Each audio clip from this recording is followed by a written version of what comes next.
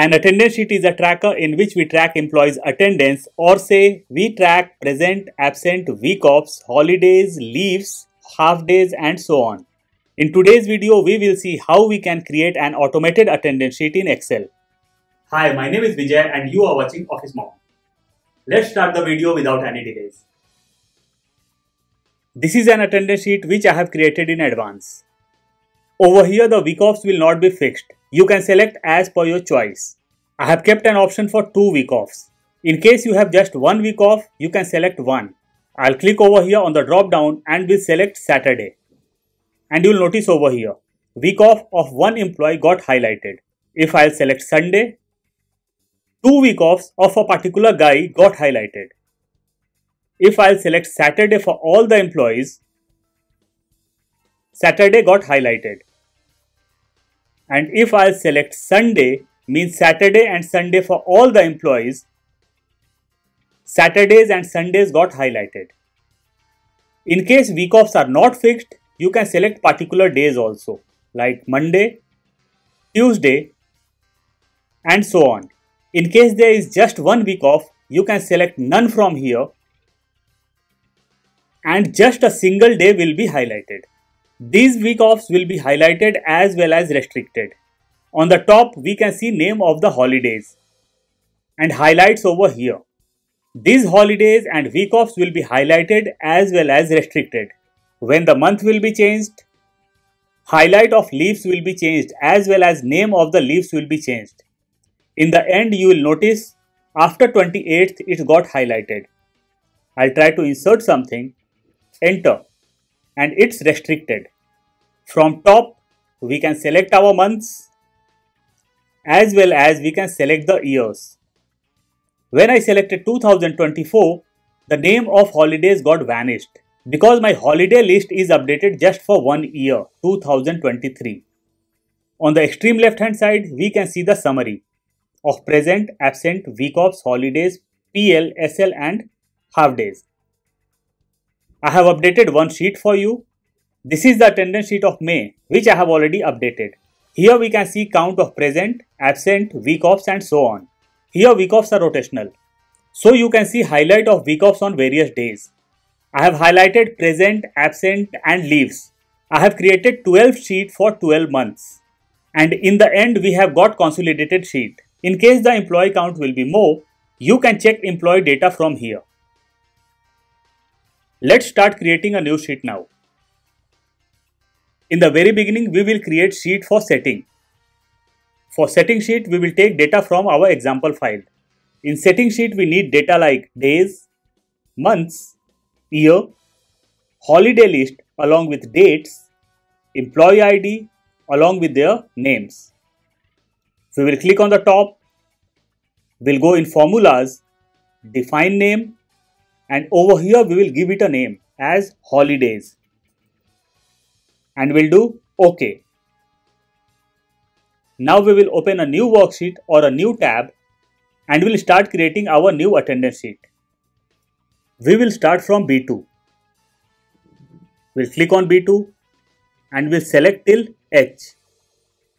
We'll go to home and we'll give it a color. We'll make this bigger We'll take this in left side.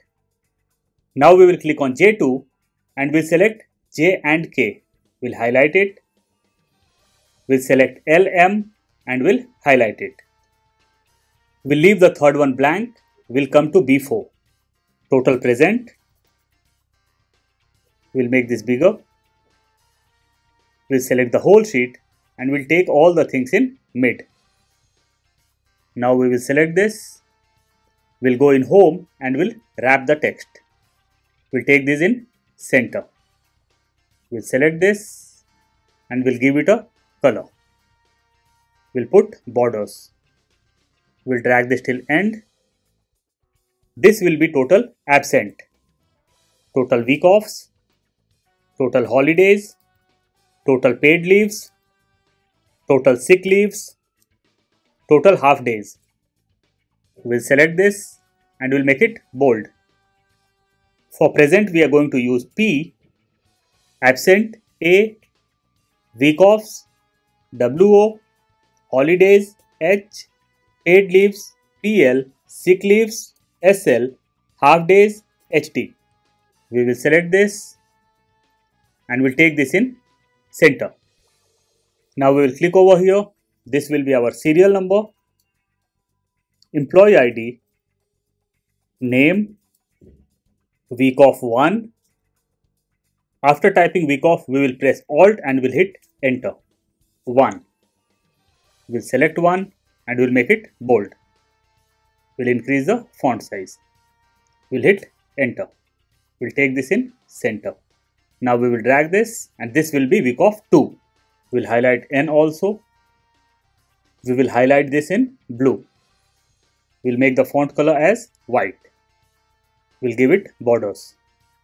We'll take this in center. We will take this closer. Over here we will type month. We will merge both. We'll give it a border. We will merge all three. We'll give it a border. This will be for year. So here we will create drop down for month. I'll delete this. We'll go to data, data validation. From here I'll select list, source. I'll go to my setting sheet and we'll select the month. OK. So drop down for month got created. Over here we will create drop down for years. Data validation, list, source, we will go to setting sheet and we'll select the years. OK. We will highlight this. We'll make it bold and we'll increase the font size. We'll select an year from here. I'll click on top. We'll take all the things in center. I'll create this attendance sheet for 20 employees. So I'll insert serial number till 20. Now I'll select this and we'll give it a border. We'll select this and we'll create borders. Now we will highlight our present, absent, week offs, holidays, leaves and half days. I'll select the whole sheet. We'll go to home, conditional formatting, highlight cell rule, equal to over here I'll type P for present. We'll click on the drop down and we'll select green fill with green text. OK. We'll go to conditional formatting once again, highlight cell rule equal to A. I'll click on the drop down, custom format, fill. I'll click over here and we'll select red color. We'll go to font and we'll select font color as yellow and we'll do OK. OK. Conditional formatting, highlight cell rule equal to WO for week off. We'll click on the drop down, custom format, fill and we'll select a desired color from here. OK. Font color as white. OK. OK. Conditional formatting, highlight cell rule equal to H. We'll click on the drop down, custom format, fill, and we'll select a desired color. We'll make font as white. OK. OK. And in the same way, I'll highlight PL, SL and HD. So conditional formatting for all the things got done. Whenever we will type P over here, it will be highlighted, A highlighted, week off highlighted, H highlighted, PL, SL, HD. So this is done. I'll delete this. Now we will create drop down for our week offs. I'll select this. We'll go to data, data validation, list, source. We will take source from setting sheet. We'll select this. OK. So our drop down list got created. I'll drag this down Employee ID and name I'll take from my example sheet. We'll come to right hand side. We will do one thing. We will click over here and we'll insert a row. We'll merge this. Now I'll insert a date over here. We'll right click the mouse. We'll go to format cells, custom. We'll remove this from here and we'll type DD. OK.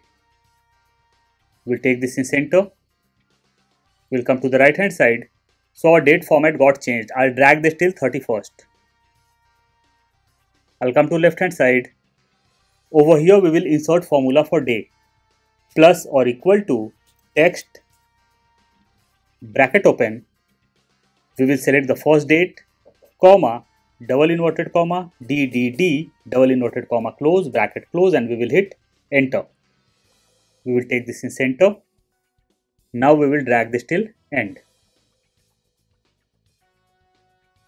we will select all these columns and we'll double click on the top.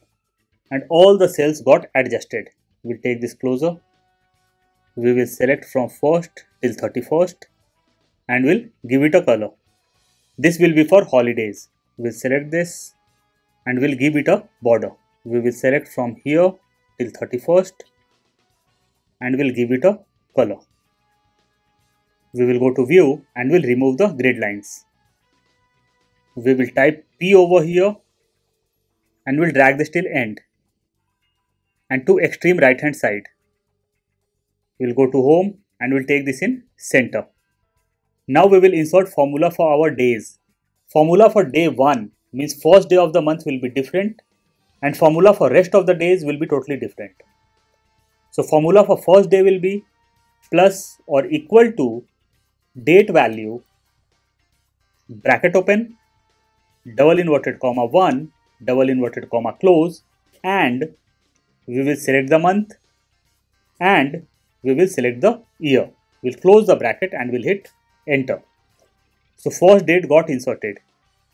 Now we will insert formula for second date and the formula will be plus or equal to if bracket open start date means first date of the month we'll press F4 or function F4 two times and dollar will be inserted between P and 6 is less than EO month, bracket open, we will select the first date once again, we will press function F4 and the cell will be locked, comma 0, we'll close the bracket, comma, we will select the first date once again, means P6 plus 1, comma, double inverted comma twice, We'll close the bracket and we'll hit enter.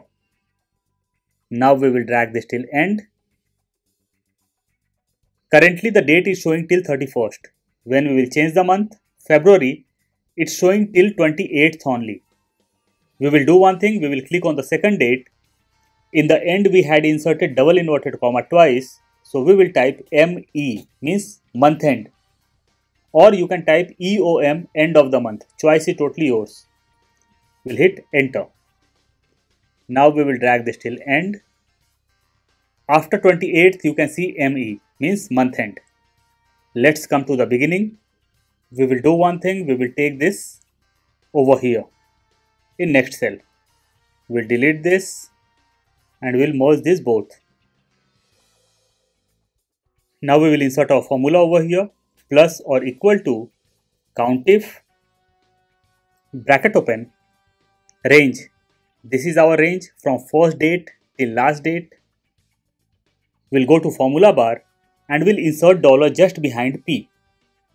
We'll click over here in second range and we'll insert dollar in between. Comma we will come to the left hand side. We'll click over here on p and we'll insert dollar in between b and 6 we'll delete dollar from here and we'll put just behind 80 and we'll hit enter. Now we will drag this down and we'll drag till here. So all the formulas got inserted. When I'll type A over here for absent, absents are getting counted. When I'll type PL, our PLs are getting counted over here. For week off and holidays, our formula will be totally different. So I'll delete this I'll delete all these from here. Now we will click over here and we'll insert formula to highlight our week offs, month end and holidays.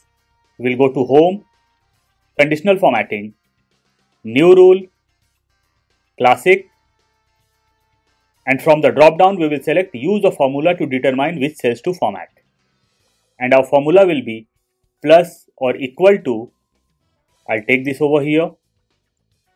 We'll click on the first week of, we'll remove dollar from center and we'll leave the first dollar is equal to we will click on the first day. And we'll remove the first dollar. We'll click on the drop down custom format fill we will click on this drop down and we'll select a desired color. Okay. Okay now we will drag this and we'll see how it looks. Our first week off is saturday so saturdays got highlighted. We'll click over here once again. We'll go in conditional formatting. New rule classic and from the drop down we will select use a formula to determine which cells to format. And our formula will be plus or equal to we will click on second week off. We will remove dollar from center or mid is equal to, we will select the first day and we'll remove the first dollar. We'll click on the drop down, custom format, fill and we'll select a desired color. OK. OK. Now we will drag this once again. So both of the week offs got highlighted.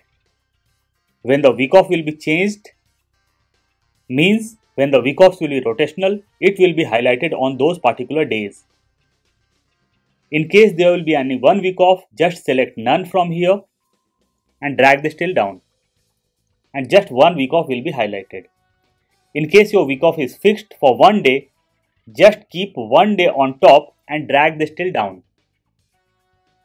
And select copy cells and just one day will be highlighted. Now we will highlight our month ends. I'll select this. We'll go in conditional formatting, new rule, classic. From the drop down, I'll select use a formula to determine which cells to format and the formula will be plus or equal to, I'll take this down. I'll click over here.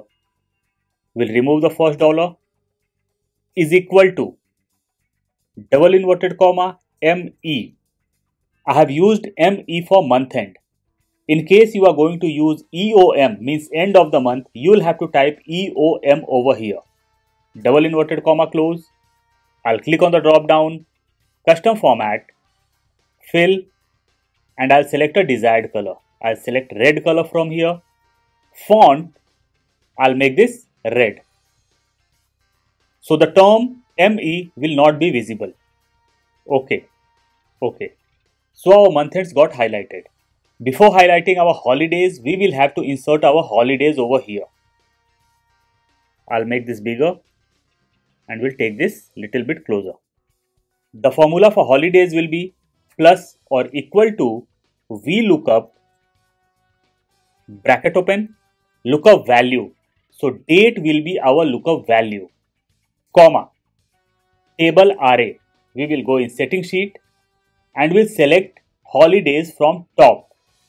The basic reason behind selecting from top in case your holidays list will be updated, it will be updated in your attendance sheet also. We'll press function F4 and the list will be logged. Comma. Name of the holidays are in column number 2, so we will insert 2 over here, comma, 0, we'll close the bracket and we'll hit enter. We can see an error over here because there's no holiday on 1st of February. So we will do one thing, we will insert formula or criteria of if error just behind VLOOKUP. If error bracket open, we will come to the end, comma, double inverted comma twice, bracket close and we will hit enter. Now we will drag this till end. We will go on top and we'll change the alignment rotate text down. In case you want to take rotate text up, you can. We'll wrap the text, we'll take this in center. We'll change the font color. We'll insert outside border. So our holidays list got inserted. When the month will be changed, January, we are able to see holidays of January. In case it will be March, we are able to see holidays of March. I'll do it January. Now we will select this and we'll highlight our holidays. But before doing that, we will go in setting sheet and you might remember we had renamed this list as holidays. I'll click over here. We'll go to formulas, name manager. I'll delete this. OK. And we'll define the name once again for better understanding. Define name. I have selected both the things means dates as well as holiday list.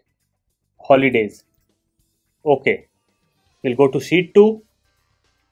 I have selected all the dates. We'll go to home, conditional formatting, new rule, classic, use a formula to determine which cells to format and the formula will be plus or equal to countif bracket open we will type holidays over here comma we will select the first date we'll remove the first dollar from here We'll close the bracket. We'll click on the drop down, custom format, fill and we'll select a desired color. Okay. Okay. So our holidays got highlighted. Whenever the month will change, the holidays will be highlighted automatically. As well as the names will be updated. Let's be in January. So our highlights are already done. Now we will restrict our week offs, holidays and month ends. We will select this. We'll go to data data validation custom and we will click over here on formula. We are going to insert four criterias over here. Two for weekends one for month end and one for holidays. Plus or equal to bracket open. I'll take this in right side. We will select first week of We'll insert dollar just before M7 not equal to for not equal to we have inserted greater than and smaller than. First weekday we'll insert dollar between P and 5 we'll close the bracket into bracket open. We will select our second week off we'll insert dollar before n not equal to we will select the first weekday We'll insert dollar between P and 5. We'll close the bracket into bracket open. So first two criterias are for week offs. Now we will click over here on our holiday list.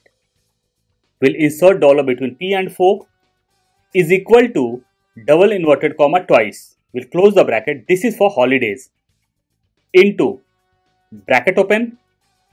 We will click over here we will insert dollar between P and 6 not equal to double inverted comma ME. This is for month end. Double inverted comma close. We'll close the bracket and we'll do OK. Now we will see our cells got restricted or not. P, we are able to do the entry. I'll insert something over here and we are not able to do the entry. Cancel. I'll select this once again We'll go in data validation, error alert, title, can't do entry. Error message, it's week off or holidays or month end and we'll do OK. Let's insert something over here. P. It's week off or holidays or month end. Cancel. So our data got restricted over here we will come to the left hand side. Now we will insert formula for week off and the formula will be plus or equal to countif bracket open. We will select the range. It will be from first day till last day of the month. We'll press function F4 and we'll lock the cells, comma. We will select the first week off. We'll close the bracket plus we will copy our formula from here Control C or Command C and we'll paste it over here. Our first week off is in M7 and second week off is in N7. So I'll change the value from here and we'll do it N7 and we'll hit enter. So our week offs got counted.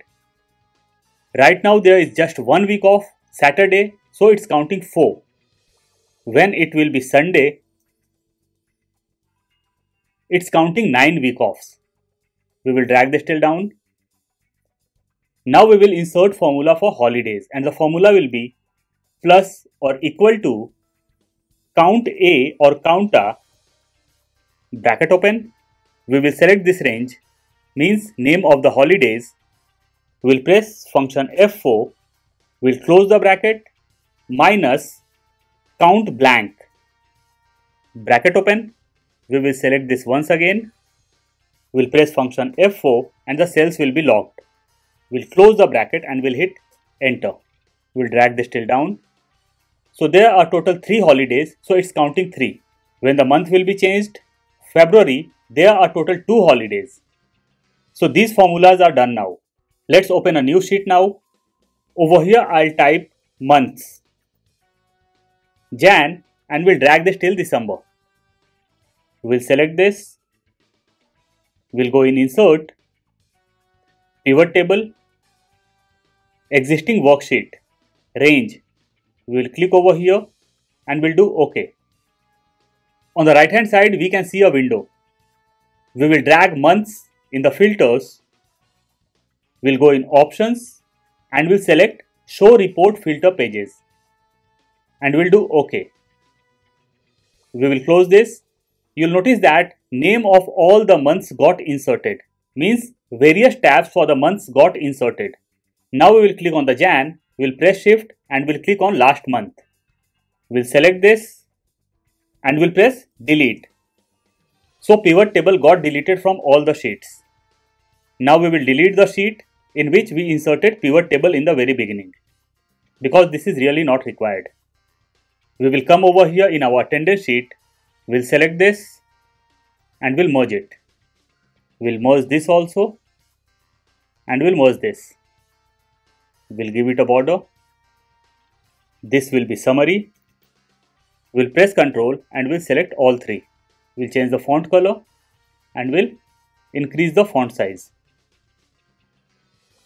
This will be for select months and year this will be attendance sheet 2023 now we will copy this control c or command c We'll click on Jan tab, we'll press shift and we'll click on December tab. We'll click over here and we'll paste it. So our attendance sheet got pasted in all the tabs. We'll go in view, show and we'll remove the grid lines. We will go in Jan tab and we'll change the month, January. And in the same way we will change month from all the tabs.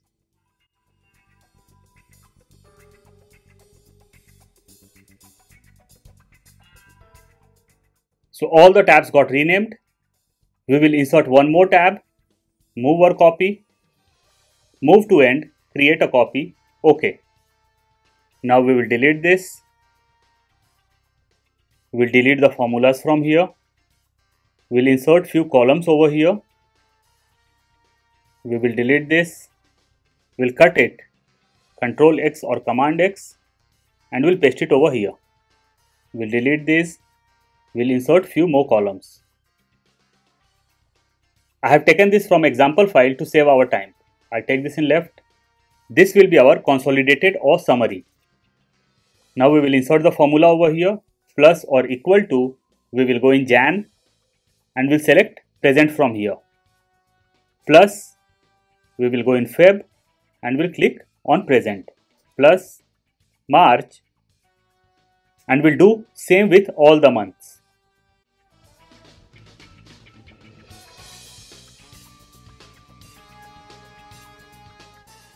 Now we will hit enter and all the months got connected. We will drag this to right until end. So all the things got counted very properly. We'll click on employee ID. We'll go in data, data validation, setting, list, source. We will go in our setting sheet and we'll select employee ID from here and we'll do OK. So drop down list for employee got inserted. Name. We will insert formula of VLOOKUP over here plus or equal to VLOOKUP bracket open lookup value. So lookup value is our employee number which is in C4. We will press function F4 and we'll log this. Comma. Table array. We will select this. We'll press function F4 and the cells will be logged. Comma. Name is in column number 2. So we will type 2 over here, comma 0. We'll close the bracket and we'll hit enter. And name of the employee is over here. We will make the font little bit smaller. Total present. We will use VLOOKUP over here also. Better we will do one thing. We will copy this and we'll paste the formulas over here. Right click the mouse, paste special, formulas. Now we will drag this down. We can see name over here in all the things. Because column number is not changed, we will change the column number. Column number of present is it's 1, 2, 3, 4, 5. So we will do 5 over here. We'll delete 2 and we'll do 5. Enter. This is our 6. Enter. This is our 7. Enter. This is our 8. Enter. This is our 9. Enter. This is 10. Enter. And this is 11. Enter. So all the formulas got inserted. Now we can check attendance employee wise. So the attendance sheet is ready now. I'll provide link of this file in description box in case you want to download you can. I'm sure you must have loved the video. Please don't forget to like, share and subscribe. See you soon with a new topic till then. Bye bye.